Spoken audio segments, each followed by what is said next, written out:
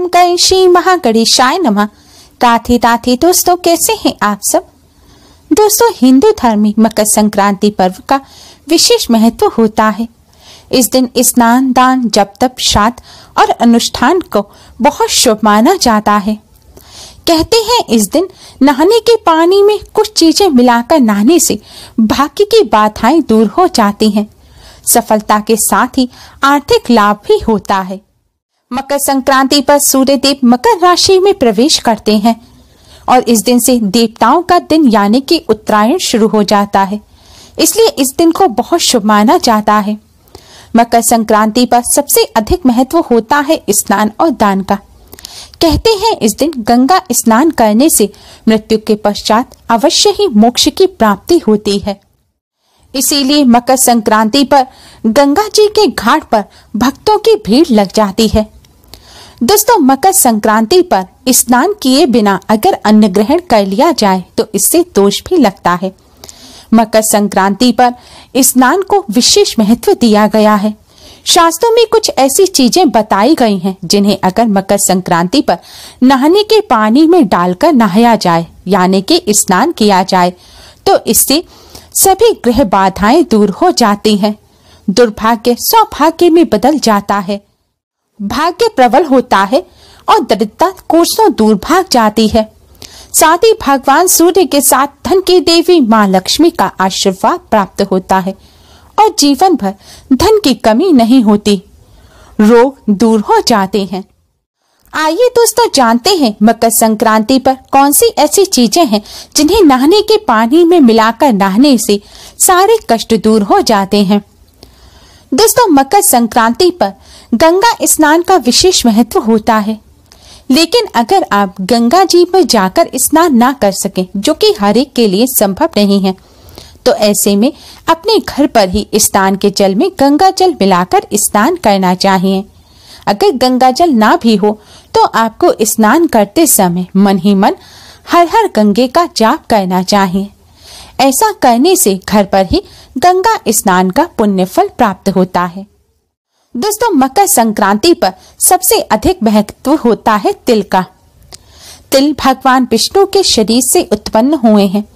तिल भगवान विष्णु के साथ माँ लक्ष्मी जी सूर्य देव और शनि देव को अत्यधिक प्रिय हैं। मकर संक्रांति का पर्व भगवान विष्णु, माँ लक्ष्मी के साथ सूर्य देव और शनि देव को समर्पित होता है। इसलिए मकर संक्रांति पर तिल को खाना, तिल को दान करने के साथ साथ तिल से स्नान करना बहुत ही शुभ माना जाता है। मकर संक्रांति के दिन पानी में काले तिल मिलाकर उससे स्नान करना चाहिए। ऐसा करने से सूर्य देव की कृपा प्राप्त होती है। धार्मिक मान्यताओं के अनुसार काले तिल मिलाकर स्नान करने से सूर्य देव के साथ शनि देव का भी आशीर्वाद प्राप्त होता है और सभी ग्रह दोष दूर होते हैं। सूर्य देव और शनि देव की कृपा से भाग्य प्रबल होता है। साथ ही भगवान विष्णु का भी आशीर्वाद प्राप्त होता है और कष्टों से छुटकारा मिलता है। काले तिल के अलावा अगर आप सफ़ेद तिल डालकर जल से स्नान करेंगे तो इससे माँ लक्ष्मी अति शीघ्र ही प्रसन्न हो जाएँगी। मान्यता है कि माँ लक्ष्मी को सफ़ेद रंग के तिल प्रिय हैं। मकर संक्रांति पर जल में सफ़ेद तिल डालकर उससे स्नान करने से दरिद्रता कोसों दूर भाग जाती है। माँ लक्ष्मी की कृपा से घर में सुख समृद्धि आती है और परिवार के सभी सदस्यों के संबंध भी मज़बूत होते हैं। दोस्तों, मकर संक्रांति के दिन पानी में हरी इलायची मिलाकर स्नान करना भी बहुत शुभ माना जाता है। एक छोटी हरी इलायची को नहाने के पानी में डाल देना चाहिए और फिर कुछ समय बाद उस पानी से स्नान करना चाहिए ऐसा करने से आपका बुरा समय खत्म हो जाएगा और जल्द ही अच्छे दिन की शुरुआत होगी। जिन लोगों को रोग है, जिन्हें कोई ना कोई बीमारी लगी रहती है, उन्हें अपने भाग्य को प्रबल बनाने के लिए और रोग से छुटकारा पाने के लिए स्नान के जल में कुछ बूंदें दूध की डालकर उससे स्नान करना चाहिए। ऐसा करने से भाग्य साथ देने लगता है। बीमारी भी जल्द ही दूर हो जाती है। माँ लक्ष्मी की कृपा से दरिद्रता कोसों दूर भाग जाती है। जिन लोगों को वैवाहिक जीवन में समस्या चल रही है जिनके पति पत्नी में आपसी संबंध अच्छे नहीं हैं, नौबत तलाक तक आ गई है या फिर जो युवक युवती विवाह के योग्य हो गए हैं, लेकिन उनका विवाह नहीं हो पा रहा है। या आप प्रेम विवाह करना चाहते हैं? विवाह से जुड़ी कोई भी समस्या आपके जीवन में है तो आपको मकर संक्रांति के दिन नहाने के पानी में एक चुटकी हल्दी डालकर उससे स्नान करना चाहिए। ऐसा करने से भगवान विष्णु का आशीर्वाद प्राप्त होता है। स्नान करते समय ओम नमो भगवते वासुदेवाय मंत्र का जाप करें। इस तरह स्नान करने से भगवान विष्णु की कृपा से जल्द विवाह के योग बनते हैं। भगवान विष्णु के साथ विवाह के ग्रह, यानी कि गुरु ग्रह भी मज़बूत होते हैं। गुरु ग्रह की स्थिति मज़बूत होने से विवाह में आ रही अड़चने दूर होती हैं। जल्द विवाह हो जाता है। साथ ही वैवाहिक जीवन में जो समस्या चल रही होती है, वह दूर हो जाती है। इसलिए विवाह संबंधी समस्या को दूर करने के लिए मकर संक्रांति पर स्नान के जल में हल्दी डालकर उससे स्नान करना चाहिए। दोस्तों, अगर आप बहुत उदास महसूस करते हैं, आपको नेगेटिव एनर्जी का एहसास होता है। सब कुछ होने के बाद भी मन उदास रहता है, कुछ ठीक नहीं लगता। या आपको किसी की बुरी नज़र लग गई है? आप पर जल्द ही बुरी नज़र का असर हो जाता है। तो इन समस्या को दूर करने के लिए मकर संक्रांति पर आप अपने नहाने के पानी में एक चुटकी पिसा हुआ नमक डालें और फिर इससे स्नान करें। नमक में नकारात्मक शक्तियों को खत्म करने की शक्ति होती है। धार्मिक मान्यताओं के अनुसार मकर संक्रांति पर स्नान के जल में नमक डालकर उससे स्नान करने से नेगेटिव एनर्जी खत्म हो जाती है और सकारात्मक ऊर्जा बढ़ती है। इसके साथ ही किसी की बुरी नज़र अगर लगी हुई होती है तो वह भी तुरंत दूर हो जाती है। साथ ही बुरी नज़र से भी आपकी रक्षा होगी। नमक डालकर स्नान करने से कार्यों में आ रही रुकावट दूर होती है और सभी कार्य जल्द ही पूर्ण हो जाते हैं। सकारात्मक शक्तियों का आवरण आपके आसपास बन जाएगा, जिससे नकारात्मक शक्तियाँ भी आपसे दूर रहेंगी।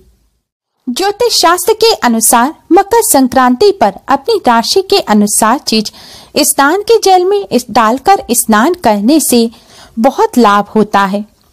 मेष राशि वाले लोगों को मकर संक्रांति के दिन काले तिल मिलाकर नहाना चाहिए। इससे भाग्य प्रबल होता है, साथ ही दरिद्रता भी कोसों दूर भाग जाती है। वृषभ राशि वालों के स्वामी शुक्र हैं। इसलिए मकर संक्रांति के दिन पानी में थोड़ी सी इलायची मिलाकर या एक हरी इलायची डालकर उससे स्नान करें। इससे आपका बुरा समय जल्द ही खत्म हो जाएगा। मिथुन राशि वालों के स्वामी बुद्ध हैं। इस राशि के लोगों को नहाने के पानी में काले तिल डालकर ही स्नान करना चाहिए। ऐसा करने से दुर्भाग्य दूर होता है और किस्मत साथ देने लगेगी। कर्क राशि के लोगों को मकर संक्रांति पर नहाने के पानी में केसर डालकर उससे स्नान करना चाहिए। अगर केसर ना हो तो आप एक चुटकी कुमकुम डाल लें और फिर इससे स्नान करें। ऐसा करने से आपके ऊपर नकारात्मक शक्ति का असर नहीं होगा और आपको पॉजिटिव एनर्जी का एहसास होगा। कार्यों में आ रही रुकावट भी दूर हो जाएँगी। सिंह राशि वालों को मकर संक्रांति के दिन स्नान के जल में दूध मिलाकर स्नान करना चाहिए। ऐसा करने से आपको धन की कभी कोई कमी नहीं रहेगी। कन्या राशि वाले लोगों को नहाने के पानी में घी डालकर स्नान करना चाहिए। सिर्फ़ एक दो बूंद घी ही आपको डालना है। ऐसा करने से आपके आसपास जो नकारात्मक ऊर्जा होगी वह खत्म हो जाएगी। और रोगों से भी जल्द ही छुटकारा मिलेगा। निरोगी काया प्राप्त होगी। तुला राशि वालों को सरसों का तेल मिलाकर स्नान करना चाहिए, ऐसा करने से रुके कार्य पूर्ण होंगे। वृश्चिक राशि वालों को नहाने के पानी में नमक डालकर स्नान करना चाहिए, ऐसा करने से बिगड़े कार्य भी बनने लग जाएँगे। आसपास सकारात्मक ऊर्जा बनी रहेगी।